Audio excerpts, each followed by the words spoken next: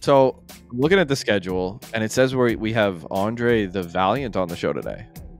What, oh, what's, man. what's his deal? Your dyslexia is so bad, dude.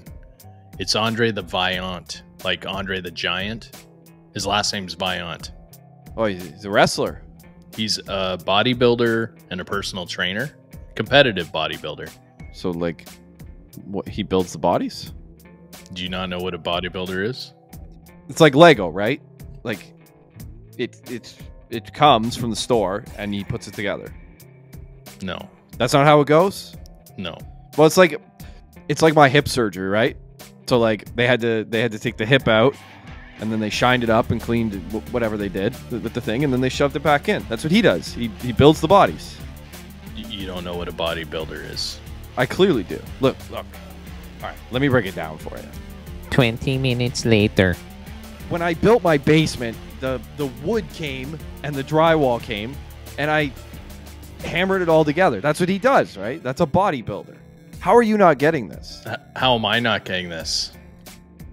This is Andre's second story. The wrestler, right?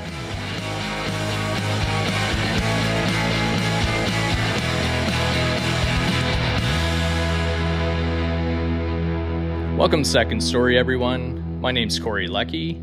With me, as always, is Josh Cybulski. What's going on, Josh? Not much, buddy. Just uh, recovering from surgery. On the, I'm on the pain pills, and uh, we just painted the office, so I might be a little loopy for this one. Okay, well, that would be different than normal. Um, you're looking. I was. I was gonna say, like, you're looking a little frail and fragile. Is that because of the surgery? Well, yeah, I haven't exercised in like five weeks. So oh, okay. yeah, I also haven't had alcohol in five weeks, so that might be playing into it too. I was at the start. I was just having a little bit of mouthwash just to fight the shakes off, but you know, I'm good. I'm, I that ended. So, anyways, All right. Well, fair enough. Um, our guest today is uh, someone who definitely knows about exercise, is definitely not frail and fragile. probably not drinking either. And yeah, prob- probably not drinking at this point. Um, when he was younger, they they told him he was going to be a huge success, and he took that quite literally. So with us today, we have Andre Vaillant. How you doing, Andre? Good. How are you? Thanks for having me. Second story, we're talking to people about pivotal changes in their lives. You know, maybe something that sent them from one path down a different path. Mhm. Could be by chance, could be by choice. And uh, Andre, you've got a really cool story. So why don't you share it with us?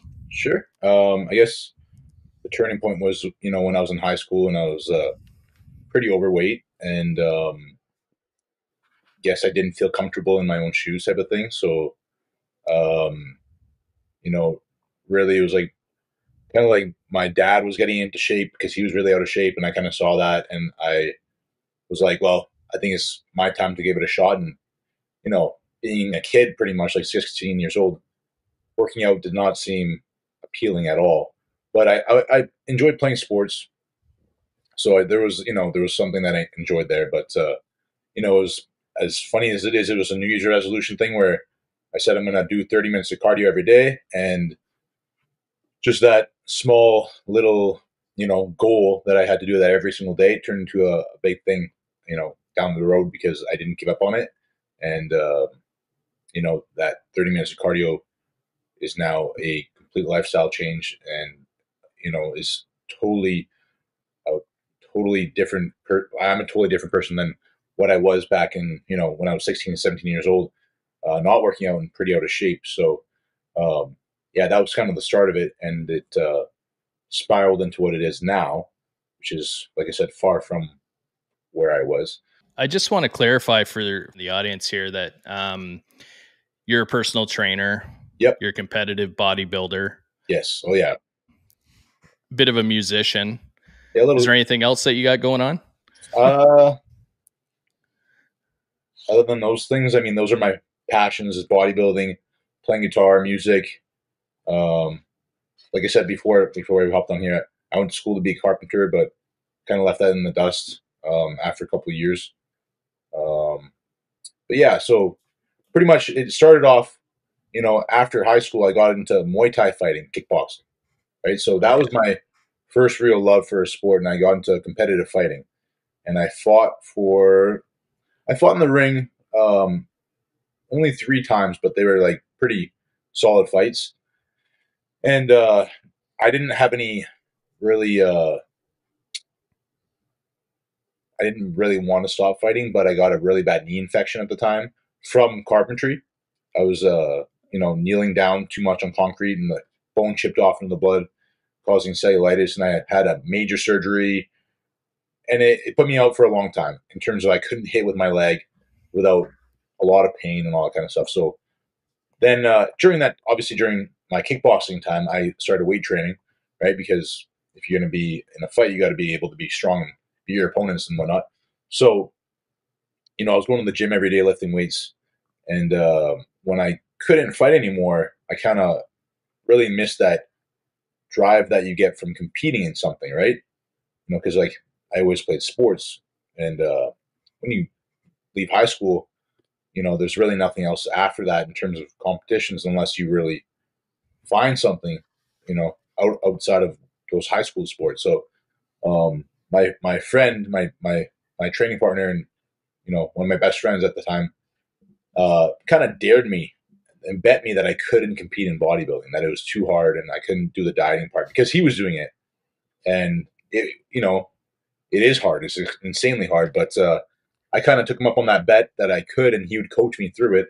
So that was the start of it. So he coached me for my first bodybuilding competition, which isn't it wasn't bodybuilding. It's called men's physique, which is kind of like the smallest class out of all of them. But anyways, still the process is very similar. So that was the start of the bodybuilding thing, and uh, yeah, that was I think when I was 24. So uh, Okay. yeah, that was the start of it. So my it was basically was an injury that led to a bet from a friend, and you know here we are now, kind of thing. So I think eight. I'll be coming up to my eighth competition now. What was it specifically about bodybuilding that you fell in love with, or like men's physique, or whatever you want to call it? So it's funny, like I really had no, um, no passion for competing in bodybuilding. I didn't really want to get on stage. I just I love the training, right? The training for bodybuilding is really hardcore, and I think another thing that I really like about it is the discipline aspect of it all. But just be, because fighting and fighting, you have to be extremely disciplined.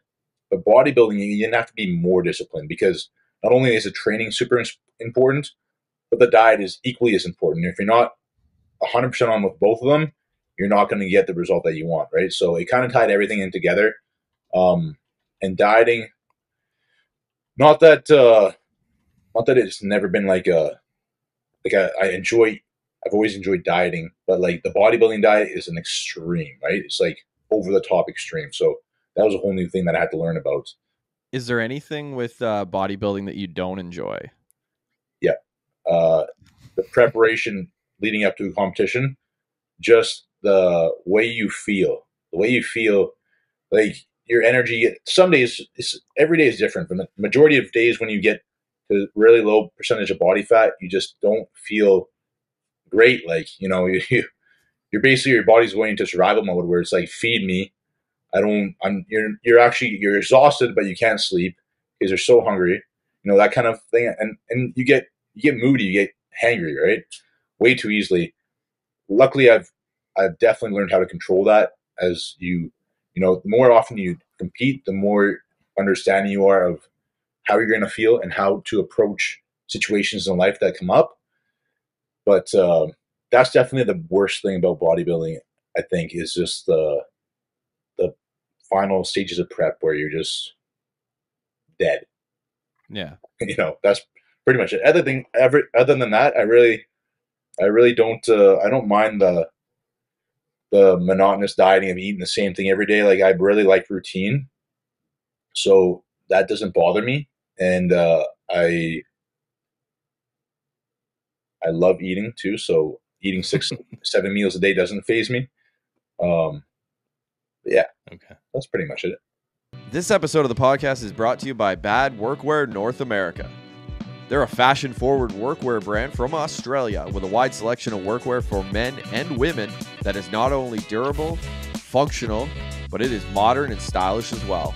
With items like slim fit work pants, waterproof hoodies, as well as a robust women's line, you're sure to find something that you'll love. They offer free returns and exchanges on all orders, and listeners of this podcast can head on over to badnorthamerica.com, use the promo code second story at checkout to get 10% off their first order. Again, head on over to Bad North America, go treat yourself to some new gear. When you were in like doing kickboxing, Muay Thai, did you have to cut weight at all or or were you having to get into weight classes or was that you weren't in that type of competition? I always not no, I never had to make weight because I always sat right around my weight cap always, Okay. which was uh I fought around 220 pounds roughly. So Wow. I never really had to make weight for that. Corey, you, you kind of spilled into what my question was going to be. We had a UFC or ex UFC fighter on in one of our first episodes. His name's Mark Holst. Oh, and Oh, yeah. he was talking about how he, he kind of walked around at like 180, 185, and he fought at 155, right, Corey? Yeah. Yeah. it was and he talked about eh, pretty much the exact thing that you just laid out as far as days leading up to a competition. It's Yep. exactly what he described as like the days leading up to a fight. It's, it's terrible. The cutting is the cutting is how you feel and the cut is just it's terrible. Like yeah. Can you compare it to anything like even remotely close to what somebody might go through in an everyday life situation? Uh there is nothing honestly there's nothing I've ever experienced comparable. hmm Um, and the thing is, like, I've I've cut for. Uh, I used to wrestle in high school too, so I had to cut for that. So, and which is the same as cutting for a fight, right? The difference from fighting cutting and bodybuilding cutting is that the fighting cutting is rapid, and it's just for literally to make weight. You don't care about your look, right? It's just to make a weight. For bodybuilding, you have to make a. For my class, at least, you have to make a weight cap, but you also have to look good, right? So if you rapidly lose weight, sometimes you're going to sacrifice muscle, and that's the whole that's the, the total opposite idea of bodybuilding, right? So the, the bodybuilding diet is for a long period of time. It's four months of cutting versus two weeks possibly for a fighter, right? So not only are you extremely restricted restricted in your diet, but you're doing that for four months. So the long the long phase of it is extremely like just detrimental on so many levels to your, your life and, and how you feel and the people around you and stuff. And it's also like it's a very selfish sport if you don't know how to control it properly. Right. Right.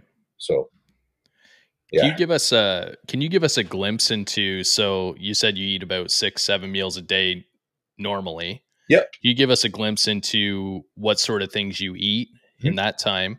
And then also what you would eat during a cut? yeah, honestly, so from bulking to cutting, it's the exact same foods. So when I was when I was bulking, let's say, you know, two months ago, uh, and to now, the foods are the exact same. The portions are changed, right? Okay. So I'll give you an example of what I'm eating now.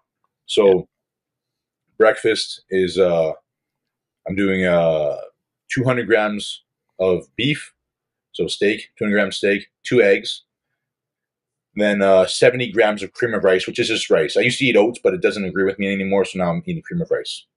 So that's my first meal. My next meal is going to be 225 grams of chicken or fish and 200 grams of rice. My third meal is going to be the same thing, but 250 grams of rice. I can also add 100 grams of vegetables in there too. My fourth meal is going to be my pre pre workout meal, which I eat an hour to two hours before my workout, and that's 90 grams of cream rice, uh, two scoops of protein isolate, and uh, 15 grams of peanut butter or almond butter. And um, then I work out two hours after that, after I eat that. And then after my workout, I wait about half an hour and I have my fifth meal, which is chicken and rice again, which is uh, 250 grams of rice and 225 grams of chicken. The chicken, um, the meat pretty much always stays at 225 grams. Um, other than that beef meal, a little bit lower, 200 grams. And then my last meal before I go to bed, maybe an hour before bed, I have two scoops of protein powder, 20 grams of almond butter, peanut butter, and 100 grams of raspberries.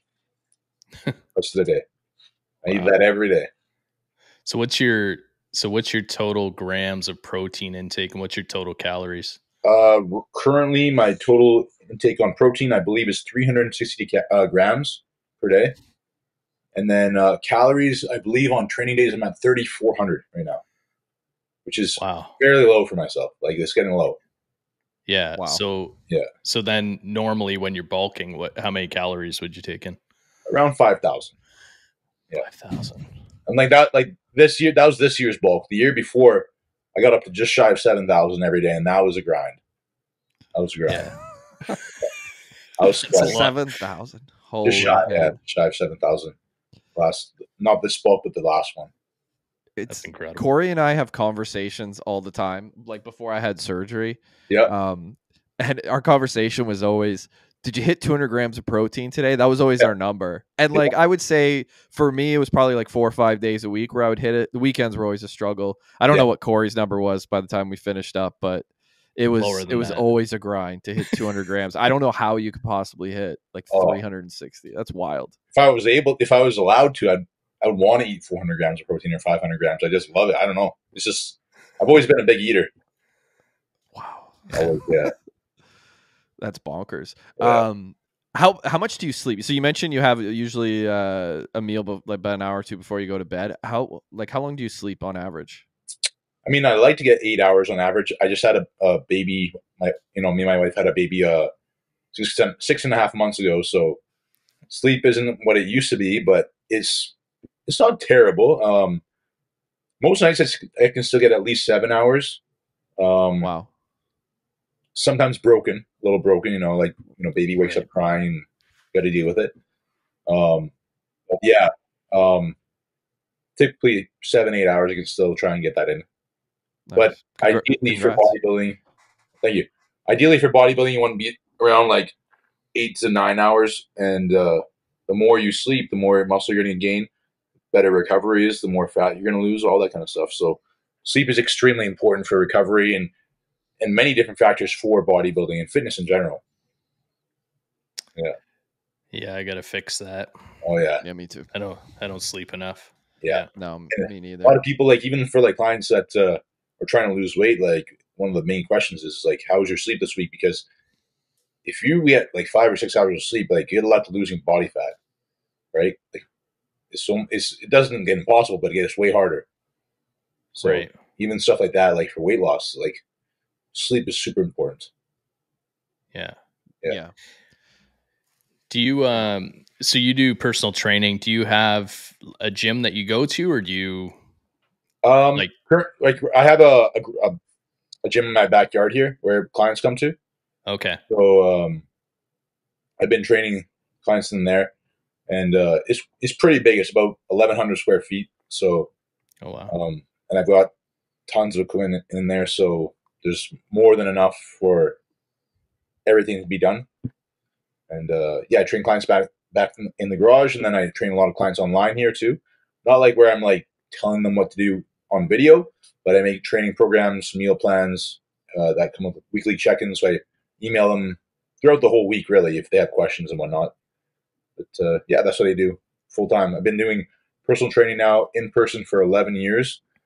Um, and then the online thing kind of started just before COVID. Okay. Nice. Yeah. Time How do you find out. that? Like do you do you find that's a good avenue to go? I see a lot of people go into like the online coaching model. Yeah, if you know what, um, it's it's good if you can if you can do it. Obviously, like a, social media is definitely going to be a huge make or break. I think for a lot of the so like uh getting clients. You know, um, a bigger following means a bigger, you know, place to promote yourself. So um, that, and then obviously making sure that you provide content that is educational and kind of pulls people in to want to be trained by you. And then um, just, I guess, being real with everybody too, right? So Yeah. things that, but yeah, I mean, you can get, making a, good living on online coaching or coaching in general, but uh, it's all about putting yourself out there too. Yeah, people are craving authenticity. We talk about it a lot on this show. How Oh, yeah. how much people are after authenticity. Yep. Which, yeah, I mean, you can see why. Oh, for Um, sure. I want to I want to take it back a little bit to after your first competition that you had. So you mentioned it was a bet, and your buddy trained you. Yep. What was what was the thing that happened during that competition, or maybe after it, that got you to keep going with it? Um, the actual competition day, because before the day before the competition, I was sold that I will never do this again. I'm never gonna do this bodybuilding thing again. It was so hard. I'm like, screw this. It's not happening again. Then the day of the show, just being up there and just the just the love for the sport with everybody that was there too. It's just like something that you have to be. You have to do it to fully understand. Um, but I immediately kind of fell in love with it that day. And then I remember getting off stage and I was like to my wife, I'm like, I gotta start getting ready for the next one. You know? no, it was, it was a total. It's crazy, but at the same time, um, you know, leading up to that show, like you're just so you're so dead because you did so much work and put every you know morsel of energy into that process. So it's a lot. Yeah, Um, Yeah. eh, What was it about being on stage? Was it like kind of an adrenaline rush for you? Was it the recognition Mhm. piece? What What was it that you liked I about think that? it's just the. It's not even. It's not anything to be with actually being on stage. I think it's just the feeling of being like you accomplished this this task, and it's so big, and you can look back and be like, I worked my ass off for this, and even if you don't win, like it's really not a thing about winning, but it's about being the best version of yourself. I mean, like a lot of people. Don't get me wrong. Majority of people, even myself, obviously I want to win, but Right. you know, without the win, there's still such a big win personally for yourself because every time you do a prep, I guarantee you're going to learn something totally new about yourself and you're going to be able to handle life situations differently. Like you're going to be able to control your emotions differently because you know how hard things can get in life. Just in putting yourself through a prep is is kind of hard to under, like explain or like for other people to understand until you've actually done it. But you- you're basically making your life way harder for uh, a small reason, you know. And then when you finish, everything seems easy after that, you know. Yeah. yeah, Yeah. Would you say, or I'm sorry, how would you say that uh, your discipline? So you, you talked about discipline a few times. How would you say the discipline from bodybuilding has spilled over into other aspects of your life? Uh, yeah. Um, I think it me it uh, definitely makes you more like just, I guess, uh, hmm, dedicated to finishing a task. You know, like if you set your mind to a task, just get it done because once you finish that task, it's like the reward and accomplishment feeling is going to be quite similar, right? But um, Yeah. and and to never underestimate yourself and, and what you can truly do. You know, never like tell yourself that you can't do it without, especially without trying. You know, and fully giving it everything you have. I'm somebody who's really trying to get a lot better with discipline. Corey too. Him and I talk about it all the time, like just being better at being disciplined. Man, it's a hard. It's one of the hardest personality traits to turn around in yourself. It's it's really hard. Um, yeah, and and really, I think what it comes down to is like whatever those things are, just like, as simple as it is, write it down on a list. And if it's like three things, just check them off every day. Those three things, right? Eventually, those three things will become easy. Like just like your everyday routine, where you're just like, yeah, I do this. This is who I am. And then from there, maybe just add one or two more on, right? Once those Yeah. things become like easy, it's like you know, like hopping on this cardio machine behind me now in the morning. That's a, a no brainer. Like that's just like me breathing. Like I'm gonna hop on there. I'm gonna do 45 minutes of cardio. There's no ifs, ands, or buts. It's gonna happen, right? And like my meals, I'm gonna eat six meals, 100%. There's no way I'm not gonna have all six meals. Um, but for most people, those two things alone, of cardio and eating all the foods, would be insanely hard, right? Yeah. takes a long time to get that discipline to get those things tapped in right the food for a majority of people is by far the hardest part like dedicating your day to having set even if it's five or four or five meals strict it takes a lot of effort and a lot of being prepared and having your mind set to okay i'm only eating these things i'm not going to walk by the fridge and grab whatever's in there that's tempting you, right? So the discipline thing is definitely a hard thing to um, grasp. But once, like I said, once you start checking those boxes, everything else just gets slowly easier. Whatever Atomic you habits. do, yeah, exactly. Yeah. But even there's Yeah. things like myself that I got to still work on my myself, and it's it's, it's probably the little things that uh, most people already do that I'm just like passing on, like stepping over because my other ones are bigger in my eyes. But you know, That's interesting. Yeah. Going on that around discipline for yourself and also for your clients do you feel it's harder to uh i don't know do those first steps like t- to lose weight or to gain muscle whatever it may be or is it harder to maintain a physique I think maintaining is a lot easier if you were able to like, let's say you were obese and you lost the weight. That's definitely going to be the hardest part, right? Like changing Okay. those initial lifestyle habits, and that's what it is: is changing your lifestyle habits. Nothing's going to be a quick and easy fix because if, if it's quick and easy, you can quickly and easily go back the other way too, right? right So it's it's it's dedicating yourself and learning a, a totally new lifestyle, whatever that may be. If you're somebody that's obese, like you know, when I was younger, I was definitely obese, and you know, those lifestyle changes were diet, and I had to learn like, okay, I can't come home and eat literally a, bo- a bowl of ice cream, make a whole thing of nachos, and eat a box of Kraft Dinner. Like I would do that after school every day, and then wait for my mom to come home and make dinner, and then I eat that, and then have more ice cream after dinner, and like yeah you can't do those things. Right? You're not gonna you're not gonna be in shape. So Right. it's like understanding uh, the importance of nutrition. You know, maybe just educating yourself on that and uh, understanding why you can't eat or why you shouldn't eat a bowl of ice cream and nachos and all these things every single day. There's definitely room for them, but if you have a goal and you want to make that goal come to life, well, what's going to be the you know the things that you have to remove from your current lifestyle to get to the lifestyle that you want to live in. You know, Yeah, So- that's the that's the discipline, right? I actually have this quote written down that you remind me of. I look at it every day. It's do you want to feel the pain of discipline or the pain of regret? And yeah, I always like if I eat something bad, I always feel that regret. I'm like, Oh. oh, I shouldn't have eaten that thing. Yeah. should have been more disciplined. yeah. Sometimes even before you eat it, you should think like, how am I going to feel? How's this food going to make me feel when I Mhm. eat the food? Am I going to be? Is it going to be so satisfying that I'm? I don't care. Like I enjoyed it. If so, maybe to have that food.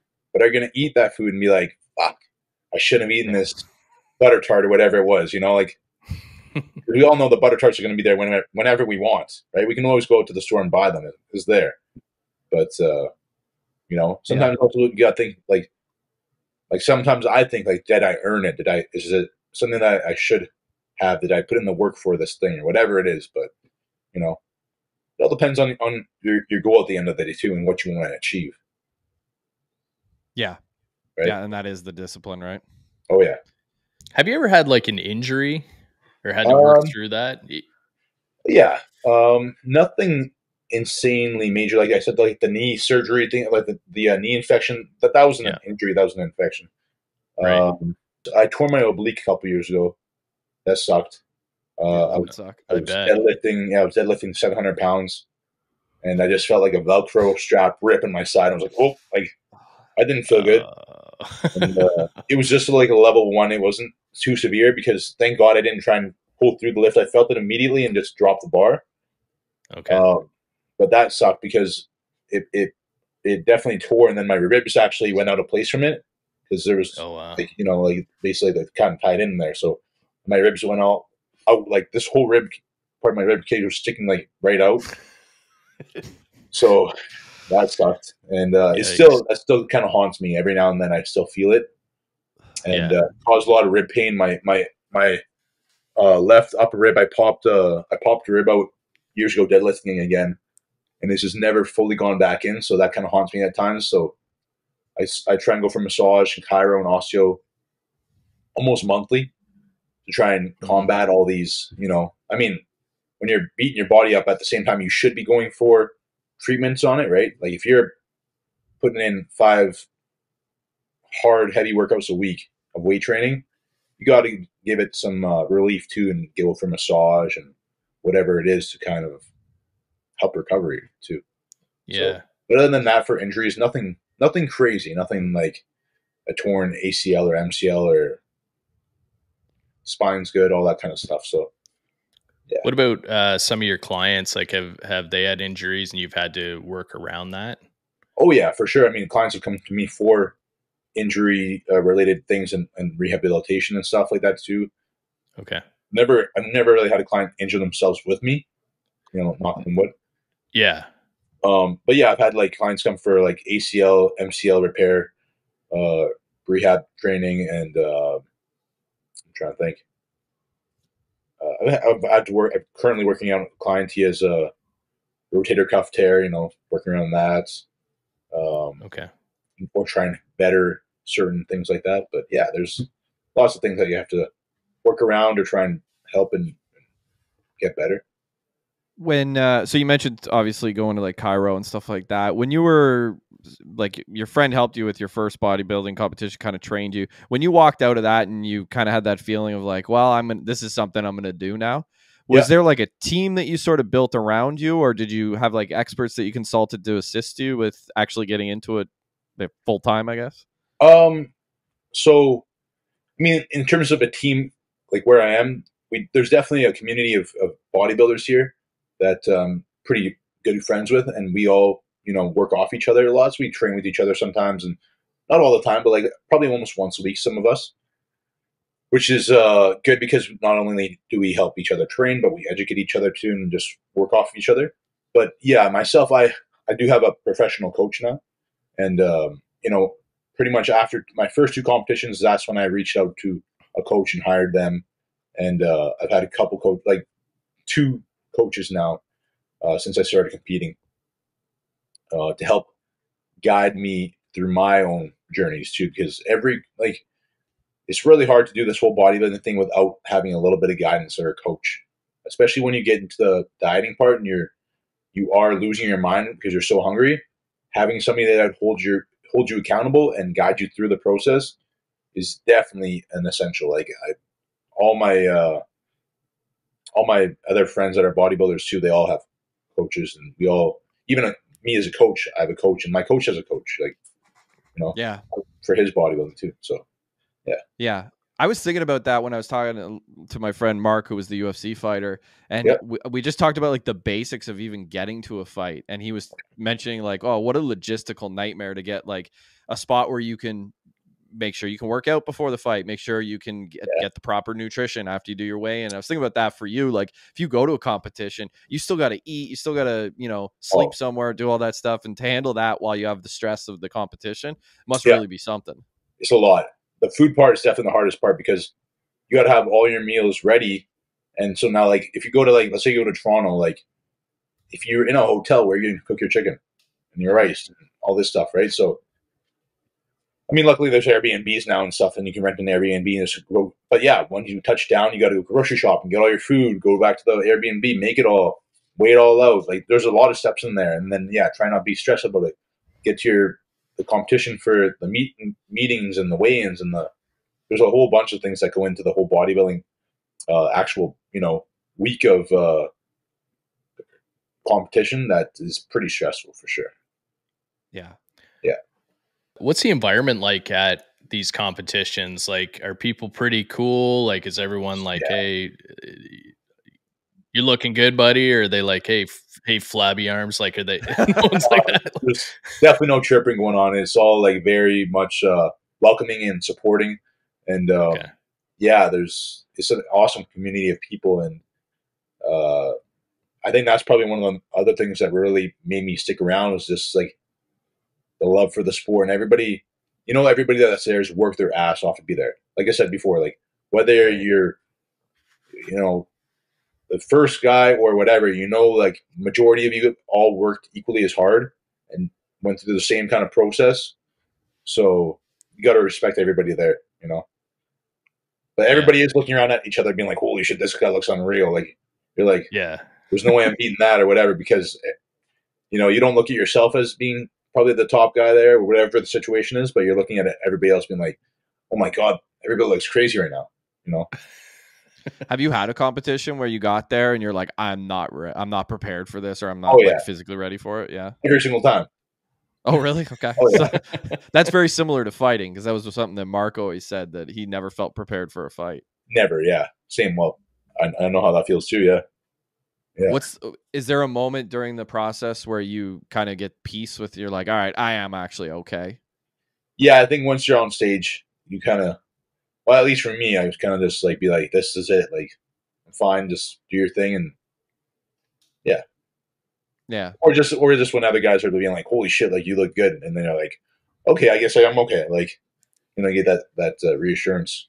I was gonna ask you about your social media because I I see like that it's grown quite a bit. Like you're I think close to two hundred thousand on Instagram and somewhere like five hundred thousand on TikTok, I, I believe. Something Yeah, like Like that. 520, yeah. Yeah. yeah. So what's what's that been like for you growing that that side of it? Um, I mean, it's been a journey. It's definitely taken a lot of work. Um, it started taking off. I think my uh, last competition it started slowly climbing. Like, um, it, it started climbing when I I started my TikTok. So I had like Okay. fifteen thousand followers on Instagram for a while, and uh, and then I started TikTok, and um, I posted one video on TikTok of my back walking up to the bar, which is really funny because I had this video of me walking up to the bar for me doing um abdominal raises for my abs, which I thought was the impressive part. And my and I I'd clip out the part of me walking up to the bar. My friend's like, no, he's like, post the pitch, the video of you walking to the bar. Like that's the crazy part. I'm like, I'm walking to a bar. What the hell is so crazy about that? I've seen then I this video. posted- I know what you're Yeah, I about. posted that video, and I remember posting it and like coming back to my phone like four hours later, and it had a million views. I'm like, what the hell? I'm like, what the hell is going on here? And then that was when it started taking off. So I'm like, okay, like basically, I just whatever I post on TikTok, I just repost on my Instagram, right? And Yeah. uh, that was when it started to really take off. So I'm like, okay, like maybe this is my thing, my back training. Like I didn't even clue in that I had uh, a genetically or like a better, uh, better back than I don't know most. I guess I don't know. Anyways, the back was a highlight. The back was definitely the highlight. And uh, Sure. so I just started to kind of run with that and, and really pushing my back on social media and just putting out more of those walking up to the bar videos, which eventually, yeah, it took off because then like um, all the SportsCenter started reposting it, ESPN started reposting it, Wow. um, and that's when it took off. And I think within like, I think it got to like hundred thousand followers within like a year and a half after that post. And the, the TikTok grew like really rapidly, uh, which is funny because I put like, I put such little effort into the TikTok side of it, and really mostly on Instagram, just because TikTok is not a good funnel for business. I find um, Right. it's a good funnel to bring people to my Instagram, but it's not a great funnel because you can't really chat people up on it on TikTok easily. Right. And and majority of it is just bots and stuff like that. I don't know. Like I don't love TikTok. Um, so I'll post on there, but I don't actually spend time on it, especially because I could scroll through TikToks for way too long. So I just Mhm. get off the app and then yeah, uh, yeah. my main focus in my business into my Instagram. So okay. Yeah. TikTok is, I mean, it's, it is a real time sucker. That's for sure. I go on there sometimes to post some of our stuff, and 20 minutes later, I'm like, why, why am I doing this? What am I Oh, doing to myself here? Yeah. yeah, exactly. But I'm really trying to I'm trying to transition into uh, YouTube now. That's what I gotta do because then I can actually start making money off of YouTube, possibly if it all Right. goes well. If I start growing on YouTube, because um, as you guys know, you can't really make money on Instagram and TikTok in Canada, so they're not paying you, right? Compared to like, the US. So Yeah. We're, we're not making money on anything, but No. maybe one day on, maybe one day on YouTube. we'll, see, we'll see what happens. yeah, um yeah the social media thing is it, that must be a, a weird feeling to have just to come back to your phone a few hours later and a million people have seen your stuff corey and i talk about it all the time we're like wow 900 people watched our episode yeah, if you if we were in an auditorium with 900 people that would be crazy yeah. now you imagine a million people that's just wild Oh yeah, it is wild. It's definitely wild because sometimes I just know that like I'll create a video of my back now and I'll be like, this is the one. I'm like, this one's gonna hit like ten million. And like I remember like the last time I said that to my wife, I was like I posted it right before I fell asleep. I'm like, I'm gonna wake up tomorrow morning with like four million views on this. And sure enough, there was like four or five million overnight on this one video that I posted, which I think is my most popular one still. But It's uh, I would have a panic if I if one of our videos hit it. I'd be like, "What did we do? Like, what Yeah. did we put in this video?" Yeah, actually- circulating? the What first time I actually uh posted one that went like stupidly viral. I was flying through Toronto, and uh, I posted it before going on the plane. And I so if you don't turn off the Instagram notifications and a video goes viral, and you're not on Wi-Fi, it'll use your data up like crazy, right? Oh no, yeah. So- Oh, okay. my data uh, literally like restarted that morning and I got to Toronto and I got a notification that my dad ran out. And I'm like, what the hell's going on? And then I realized a viral a video went viral. So it was just sucking my data notification like the notifications from Instagram, right? Like crazy. So wow. and I yeah, and then I realized like like I had like hundreds of notifications from Instagram and it was drain it, it drained all my data. So anyways, yeah. That's one thing that if you do go viral, you have to make sure your notifications are turned off. Yeah, we're Yeah. we're a ways away from that. We've had a couple do some decent numbers, but nothing close to what you're talking about. Hey, you never know. We uh, before you actually came on, Alex and I were talking about Alex Hormozi. I'm not sure if you're familiar with him. Um, he's kind Yeah. of He's an He's a- influencer. He is an influencer, yeah. Yeah. So one of the things he was talking about in this video I watched a couple days ago was he was saying that um, if you want to be exceptional at one thing, you got to give up pretty much everything else. Um, he said balance. sometimes you can be, yeah. He's like Yeah. sometimes you can be good at like really exceptional at two or three things, but you're gonna have to really sacrifice so many other things. So I was thinking about that when I was thinking about interviewing you. I was like, I wonder, like, what is it that you feel you've given up to to pursue bodybuilding the way that you have? For sure. Um, I mean, sadly, I feel like uh, certain like friendships, in a way, your social life, that uh, definitely takes a, a bit of a hit because you don't have time for it. Like, and you can't like you can't be going out to the bars and doing all that kind of stuff and hanging out and you know, like it's nice because the people within that same group you can be friends with because you're gonna see them at the gym. And that's kind of your hangout time almost or you can go for meals and stuff. But uh, you know that that traditional like going out on the weekends and staying up late and stuff that's kind of gone. So that's probably the biggest hit I feel like. Um, I mean, really the only other things that I mean maybe in my own life that have taken a hit that I put on a little bit less priority, but I still do would be like even playing guitar. Like I used to play guitar for hours a day, um, but I don't have that time anymore because I put those hours into bodybuilding and having a baby now. That also takes a, a lot of time too. So I still get to play like half an hour maybe a day if I'm lucky, or an hour sometimes on the weekends.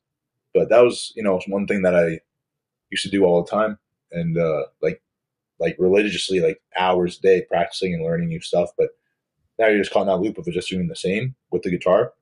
But that's just very minuscule. That's just like another hobby, right? But uh, yeah, I think the biggest thing is just uh, your social life, Yeah, Yeah, Yeah. which is fair. makes sense. You know, yeah. yeah. I I never really under. I've always been somebody who's kind of okay at everything. I've never been exceptional at anything. And the first time I was really ever introduced to somebody being really good at one thing and really bad at another thing was uh, Mika Zibanejad. He's a hockey player. I'm not Okay. sure if you you know him. So No. he he used to work out at the same gym as me, and I remember him coming in one time, and he was playing basketball, and he's like he's tall. He's probably like six four, six five, and I remember he was just awful at it. Oh yeah, watching him play, I'm like, this guy's a pro athlete. Like, how is he so bad at basketball? yeah, But then, like an hour later, I, I went worked out. I came back by the gym and they were playing floor hockey, and he was just dangling everybody. I'm like, Oh, oh, yeah. right, yeah. he's so good at this that he doesn't have time to care about basketball. And That's right. that was a, my first introduction to that. But I still haven't applied that to my own life. Maybe I should. Yeah, eh? never know. on your on your website you talk about uh, progress over perfection that's actually something that's come up a few times in in our episodes and um, it's from james clear's atomic habits Yep. uh, he talks about that quite a bit as well uh, what is it about that particular expression that resonates with you I think it's almost like like you know how I was talking about being like in, in the bodybuilding competitions, like you don't always have to be the number one person there. But if you're the like that, being the number one person is almost like perfection, right? But being the best version of yourself, if you keep on coming up and showing up better than you, your last form, that's at the end of the day, like what more can you do, right? That's being Mhm. that's being the best version of yourself. That's like checking all your boxes off and just being a better one percent or whatever it is, better of yourself every time. Yeah. You know? I talked to my 12 year old son about that a lot. He's a competitive swimmer. Okay. And you know, he gets bummed out sometimes when he doesn't doesn't win or doesn't place or whatever. And I said to him, like, although you are racing against people, you're really racing against yourself. So just look at your previous times and did you improve? Yeah. Do you feel better? Like, are you gaining something out of it? And don't worry about what everyone else is doing. Eventually, if you're just beating yourself all the time, you're eventually going to beat them anyways. Oh, for sure. Yeah. So Totally. Do you have any inspirations or like heroes in the world of bodybuilding or or anything like that? Um, I never really ever used to, but I definitely look up to like Chris Bumstead as a, as a human being now. Like he's just uh, besides being a bodybuilder, he's uh, very inspirational in terms of his lifestyle and who he is as a, a person, and his, overall success and not only bodybuilding but business too. Mm-hmm. You know, I think Yeah. a lot of people would probably say that. Yeah. Yeah. So, kind of piggybacking off of that, where you mentioned YouTube, and obviously you have your own business and stuff like that. Where do you want your journey to take you? Where would you like to go with all of this? Um, it's a good question. I mean, just basically doing exactly what I'm doing, but just growing it even more so, right? Just like eventually building a team with my online coaching, and um, yeah, just really pushing the social media part of it. I think is probably the best route for myself, and um, trying to just network a little more with the people in the industry. But uh, that's I think I think that's where I'm kind of going right now. Yeah. Yeah. That's a that's a question that Corey and I have been toying with for a couple weeks now. Okay. Is what what do we want? Like what do we want for our life? Where do Mhm. we want to go with it? And we really can't answer it. It's That's why I was curious if you had an answer. Yeah, it's like it's like your destination. This is where you want your life to end up. And Yeah. it's a really, really hard thing. And you know, I don't know how old you are, but we're I'm in my 30s. Corey's in his 50s. We're trying to figure. No, I'm just kidding. Corey. Corey's in his Corey's in his late 40s, right? No, early we're 40s, still you bastard. we're trying to figure out like what is that destination that that we're aiming towards and you know i've heard multiple people who are very successful say like if you don't have a destination it's really hard to make a map of where you're going and i'm like i don't know and that's a really hard question to answer It's tough. It is tough. Yeah. you you have a much better answer than i do for it much better than corey's as well Yeah. no offense corey corey's was just like a That's question true. mark on the screen he's like i can't answer this friggin' question i was like yeah me Yeah, I wrote on a I wrote on a Word doc. What exactly do I want? And it's just just a blank screen after. yeah, a lot of people will just say like, "Well, I want to be wealthy or financially secure," but it's like that's not a destination. That's just No, it's not a kind of a yeah. It's not a goal. Yeah. Like- yeah, yeah. it's just want- like a. Go ahead. it's like you just want the prize from the whatever the task is, but you haven't actually decided on what the task is going to be. Yeah, Yeah. exactly.